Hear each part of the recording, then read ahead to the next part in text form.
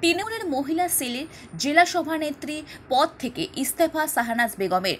বহরমপুর মুর্শিদাবাদ সাংগঠনিক জেলার তৃণমূলের সভানেত্রী ছিলেন তিনি তৃতীয়বারের জেলা পরিষদ সদস্য। এই জেলা পরিষদে কর্মাধ্যক্ষ বা কোনো সমিতিতে ঠাঁই পায়নি। আর এই ইস্তফা নিয়ে গুঞ্জন শুরু হয়েছে রাজনৈতিক মহলে। বিরোধীদের দাবি, তিনি যোগ্য সম্মান পায়নি, তাই ইস্তফা দিয়েছেন বহরমপুর কমার্স কলেজের অধ্যাপিকা সেহনাজ বেগম, তিনি দাবি করেন, পুনরায় আবার তার কাজে যোগ দিয়েছেন দীর্ঘ আট বছর থেকে মহিলা সেলের জেলার নেতৃত্ব দিয়ে এসেছেন। পঞ্চায়েত নির্বাচনে জেলা পরিষদের জয়ী হন শাহনাজ।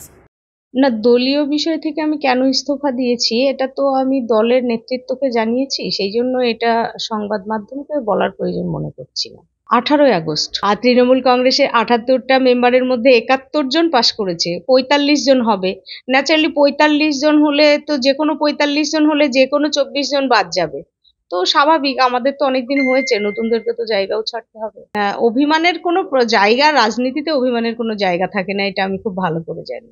সুতরাং রাজনীতিকে অভিমানের কি আছে? দল যা সিদ্ধান্ত নিয়েছে, একদম সঠিক সিদ্ধান্ত নিয়েছে বলে আমি মনে করি। তো সম্মান তো আমায় দিয়েইছে। দল একবার সহকারী সভাধিপতি করেছে, একবার কর্মাধ্যক্ষ করেছে আমাকে আট বছর ধরে মহিলা সভানেত্রীর পদে রেখেছে, সুতরাং দল সম্মান দেয়নি, এটা আমি বলব না।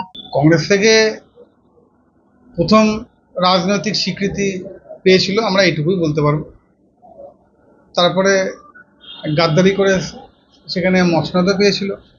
তার পরিবর্তে তার পরবর্তীকালে তার সাংগঠনিক প্রক্রিয়াতে তার গ্রহণযোগ্যতা হয়তো- তো তলানিতে ঠেকেছে। তিনি সেভাবে আর পাত্তা পাচ্ছিলেন না।